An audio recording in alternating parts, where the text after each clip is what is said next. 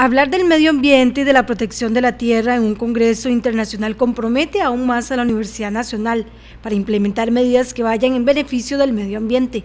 Durante esta semana en la sede Pérez de León se lleva a cabo una actividad donde se menciona la defensa de la madre tierra y las diferentes acciones que se tienen que tomar en cuenta. Alberto Salón, rector de la UNA, dijo que en la institución ya se trabaja en diferentes acciones que permitan que el Centro de Sus Superiores en sus diferentes sedes obtengan la carbono neutralidad.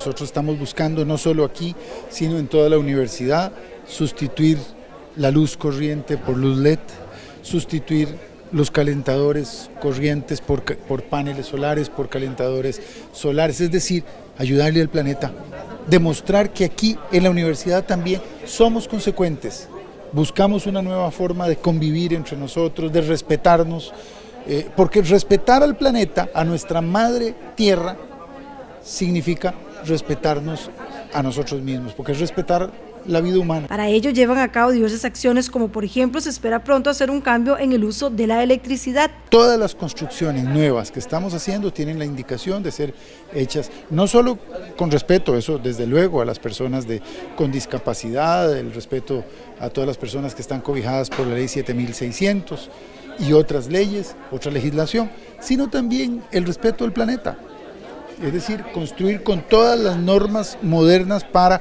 avanzar hacia carbono neutralidad. Por esa razón consideran necesario que se tengan que tomar en cuenta muchas acciones. No más uso de, combustibles fósiles, bueno, lo, necesario, ¿verdad? Lo necesario, la gasolina de los carros todavía no la hemos logrado reemplazar, llegará el momento en que todo el mundo ande con, con carros eléctricos y no quemando, quemando petróleo, procesado, como es la gasolina.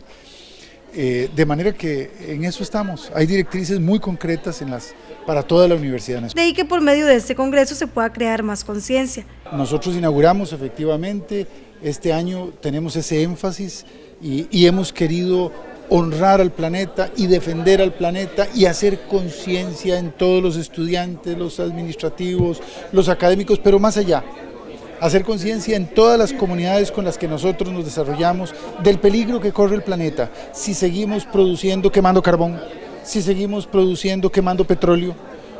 Todo eso hace un daño enorme al planeta, produce ese calentamiento global que nos tiene en vilo. El rector de la UNA precisó que es necesario que la población continúe en diferentes acciones para estar en armonía con el medio ambiente.